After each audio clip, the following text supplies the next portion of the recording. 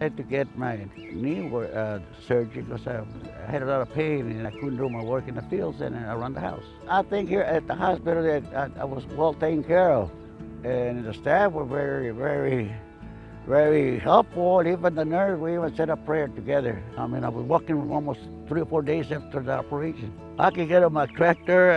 Uh, I could do almost like a teenager. Mission Regional Medical Center. Quality health care close to home.